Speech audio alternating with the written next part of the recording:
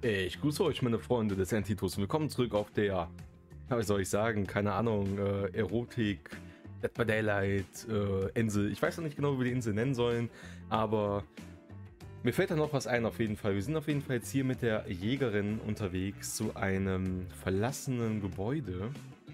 Und wir hatten hier das letzte Mal aufgehört, ähm, genau, äh, die Jägerin war ein bisschen darüber enttäuscht, dass wir irgendwie doch kein Vampir sind. Ähm, ja, komische Reaktion, aber ist so. Gut, wir machen einfach weiter da, wo wir letztes Mal aufgehört haben und sehen mal, was so passiert. Die Jägerin. Komm rein und schau es dir an. Muss man meinen Cursor so ein bisschen weg verschwinden lassen. So. Jo, die wohnt einfach hier, oder was? Wie sieht denn das hier aus?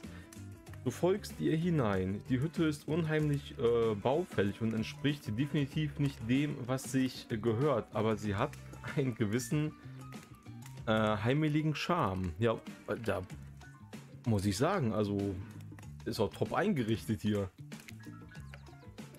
Du bist eine richtige Dekorateurin. Sehr errötet, aber das ist nicht in der Tat... ich muss mich kurz wieder sammeln. Schon eine Weile her, dass wir Hooked on You gespielt haben. Sie errötet. Aber das ist sie in der Tat. Eine, ein Kronleuchter aus Knochen hängt grazil von der Decke.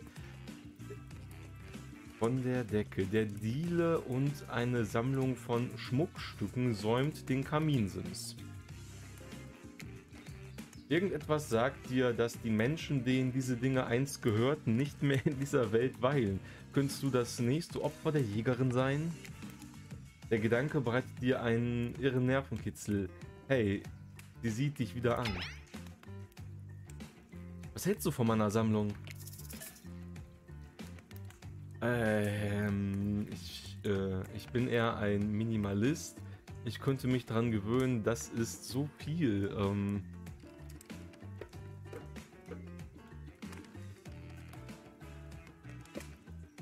Also ich bin eher so für, das ist so viel. also das wäre auch eine Antwort, die würde ich in Real Life geben. Ähm, dann nehme ich das also. Bist du ein Messi? Warum brauchst du so viele Uhren und Regenschirme? Ist das die Lesebrille von jemandem? Wahrscheinlich vermisst er sie. Und Schlüssel? Meine Güte, die Schlüssel. Das ist ja alles ein bisschen viel, findest du nicht? Jägerin strahlt, sie ist begeistert. Dass du weißt, wie all diese seltsamen Dinger heißen. What the heck? Ich will unbedingt wissen, warum die Menschen so viele seltsame Accessoires mit sich herumtragen. Es ist ein bisschen viel. Was bedeutet das? Ich genug zum Teilen habe? Hier, nimm das. Ja. Ein Totenkopfschlüssel. Sie gibt dir einen ihrer wertvollen, glänzenden Gegenstände, den du behalten darfst. Keiner will darüber reden, dass die Jägerin nicht weiß, was ein Schlüssel ist, aber das Wort Accessoire kennt? Okay, also machen wir weiter. Ich kann es kaum erwarten, mit dir auf Schatzsuche zu gehen. Wir könnten auf der Insel noch so viele tolle Sachen finden. Aber zuerst, äh, aber zuerst mal, was hältst du von einem was hältst du von den anderen Killern auf der Insel? Ich meine, der Trickster ist ziemlich abgefahren, aber alle anderen scheinen interessante Lebensgeschichten zu haben und so. Ein bisschen Klatsch und Tratsch, hm? Worauf spielst du an, Kämmerer? Die Jägerin überlegt einen Moment lang. Sie scheint zwei Modi zu beherrschen, nachdenklich und explosiv. Du hoffst, dass du nie in ihrer Nähe bist, wenn der explosive Modus losbricht. Warum? Bist du eifersüchtig?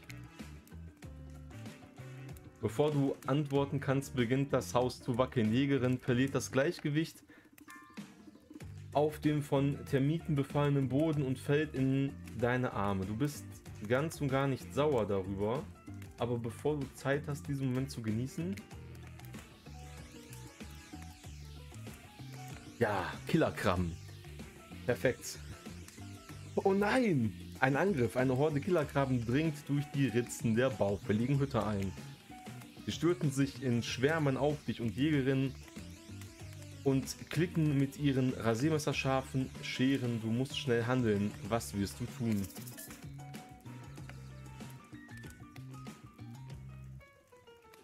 Ja, ich glaube, ich würde dann. Äh, wir schmeißen uns todesmutig zwischen Jägerin und den Krabben.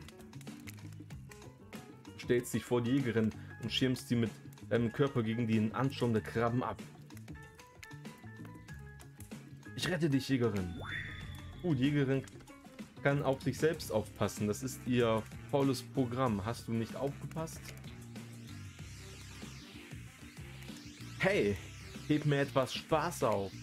Jägerin steht direkt zwischen dir und den Krabben und scheucht dich weg, bevor, bevor sie eine Krabbenschale nach der anderen aufschlitzt, wie dein Onkel bei einem All-You-Can-Eat Meeresfrüchte-Buffet. Mhm. Liegerin setzt sich auf das äh, Weidensofa und fängt an, die Eingeweide von ihrem Ball zu wischen. Das ist eine obligatorische Szene für jeden Killer. Du bist nur froh, dass das Zeug nicht von dir... Was? Du, äh, du bist nur froh, dass das Zeug nicht von dir stammt, was sie da abwischt. Ach so. Sieht aus, als gäbe es Krabben zum Abendessen. Sie, lächel, sie lächelt nicht über deinen Scherz. Sie hat wieder diesen nachdenklichen Gesichtsausdruck. Du setzt dich zu ihr auf die Couch. Mann, manchmal bringen mich diese Nahtoderfahrungen wirklich dazu, darüber nachzudenken, was ich im Leben will. Ich glaube, ich möchte eines Tages eine Familie gründen. Wie sieht's bei dir aus? Ähm,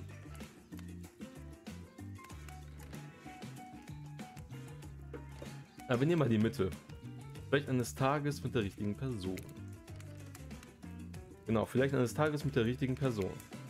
Ich meine, es ist eine lebensverändernde Entscheidung. Du musst sicherstellen, dass sie richtig ist.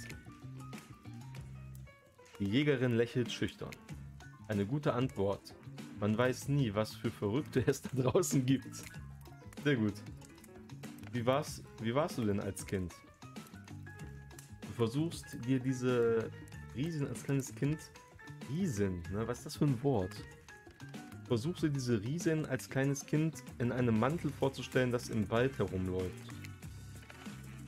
Jägerin kichert. Ihr Lachen ist süß und sanft. Ich war so unschuldig, wir jagten, um zu überleben, gingen dann zurück in die Hütte und Mutter erzählte mir Geschichten. Wir tranken Tee und stellten uns ein Leben weit weg von den Wäldern vor, an einem Ort wie diesem. Ich nehme an, ich habe endlich erreicht, was ich immer von mir wollte. Aber seit ich hier bin, fühlt sich etwas anders an. Es ist schön und warm und alle sind so attraktiv. Es gibt jede Menge Ablenkung. Oh. Aber hast du nicht das Gefühl, dass etwas hinter uns her ist? Oh nein. Sie ist dir auf, auf der Spur. Aber was will sie von dir? Wirre Erinnerungen schwirren durch deinen Kopf. Albträume, Visionen von einer dunklen Wolke, Claudette, Claudettes und Dwights ausdruckslosen Starren, was auf eine Art Hypnose hindeuten könnte. Schnell, betätige, äh, schnell bestätige ihre Theorie oder versuche sie abzuwehren. Ähm, na gut, wir haben den Ozean und der Erzähler ist auch so ein bisschen creepy. Aber sind die hinter... Ne, ich glaube nicht. Nicht wirklich. Was? Ich finde das überhaupt nicht. Das ist alles perfekt und ich weiß nichts. Nichts ist okay. Gut gemacht. Ich möchte nicht, dass die Mission, auf der du bist, in die Hose geht. Vielleicht hast du sie noch nicht täuschen können. Die Jägerin sieht dich mit einem misstrauischen Blick an. Der Neuankömmling, Neuankömmling protestiert was? Protestiert zu viel. Der Druck von einer skrupellosen Riesin mit einem Ball angestarrt zu werden, wird dir erspart. Claudette und White platzen herein und unterbrechen dich. Wir haben Dramatisches zu verkünden. Aber das muss wieder am Strand passieren. Wow. Du kommst an den Strand und merkst, dass du reingele reingelegt wurdest. Es gibt also doch keine große Verkündung. Was wir hier haben, ist eine gute alte Rivalität. Es ist wahr. Genau. Wie die Stimme, die wir nicht hören können und auf die wir uns sicher nicht beziehen, sagt, wir wurden von einem anderen Killer gezwungen, euer schönes Date zu unterbrechen. Er ist hier und bereit, dir einen Antrag zu machen, den du nicht ablehnen kannst. Der Fallensteller, er geht mir eigentlich so auf den Keks, muss ich sagen. Ne? Der Fallensteller taucht aus dem Wasser auf in Zeitlupe. Er ist der pure Durst. Er ist Paul Newman auf dem Pferd. Er ist Denzel auf dem Cover der.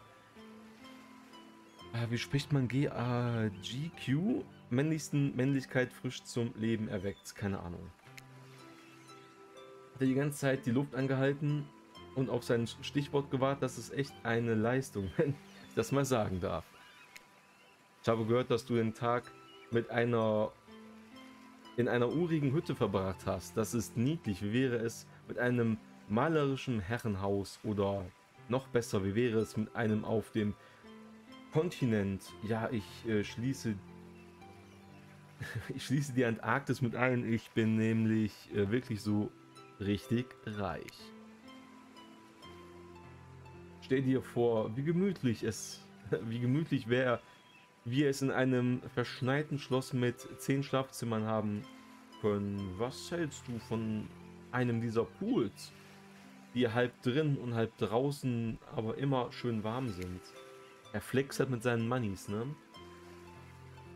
Auf diese Weise kannst du draußen eine Eisbärenmutter töten. jo, alles klar. Und dann von innen zusehen, wie ihre Jungen über ihre Leiche. Jo, Alter, was geht mit dir ab, Alter? Wow, der Feinsteller ist sowas von cool und mit cool meine ich eigentlich abgrundtief böse. Und du willst wirklich für den Rest deines Lebens auf die Jagd nach etwas zu, zum Essen gehen. Bei mir bekommst du beides, Wildheit und jemanden, der dir hinterherräumt. Hört sich doch gut an, nicht wahr?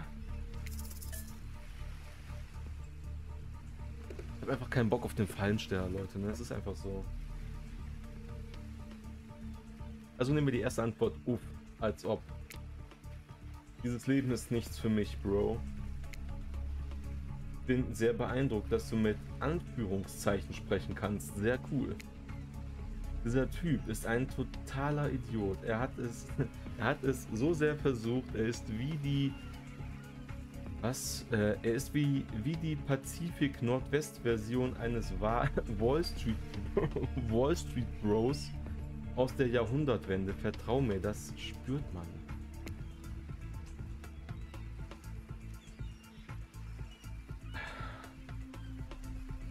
Äh, Patrick Bates, ja doch Bates, Bateman mit einem riesigen Komplex. Du wirst nicht mal mit ihm mitgehen, wenn er dich mit einem Beil bedrohen würde. Ach du Scheiße, das tut er.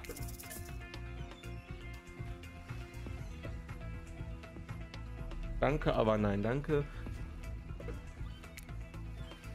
Danke, aber nein, danke. Ich stehe auf einen ruhigeren Lebensstil. Ich genieße meine Unabhängigkeit und brauche niemanden, der mir den Hintern abwischt. Du rennst zurück in die riesigen Arme der Jägerin. Sie umarmt dich fest, so fest, dass du glaubst, du spürst für einen Moment, wie das Leben aus deinem Körper weicht. Aber dieser Schmerz ist wunderschön. Weißt du was? Ich bin beeindruckt, dass du mir die Stirn geboten hast. Ich weiß es zu schätzen, dass mir jemand seine ehrliche Meinung sagt, auch wenn ich dir am liebsten die Leber rausreißen würde. Und die Bemerkung mit dem Hintern abwischen, das habe ich mit hinterherräumen nicht gemeint. Aber ich stelle jemanden ein, der das für mich erledigt, sobald ich nach Hause komme. Der Pfannensteller verschwindet und du drehst dich zur Jägerin um, während er in Zeitlupe zurück ins Wasser geht. Das ist ziemlich seltsam. Will er einfach die ganze Nacht da drin bleiben? Und hiermit äh, beende ich diese Folge, weil ich sehe schon wieder auf meinem kleinen, äh, auf meiner kleinen Uhr hier, dass wir die äh, Minutenanzahl wieder voll gekriegt haben für eine Folge. Deswegen machen wir in der nächsten Folge genau hier weiter. Dann gehen wir hoffentlich wieder mit der Jägerin mit und schauen mal, was so weiterhin passiert. Wenn es euch gefallen hat, liebe Leute, dann Daumen nach oben, denn Däumchen ist Träumchen. Und würde ich sagen, wir hören sehen uns in der nächsten Folge, wenn wir dann wieder auf ein Date gehen mit der Jägerin. Bis dann und ciao.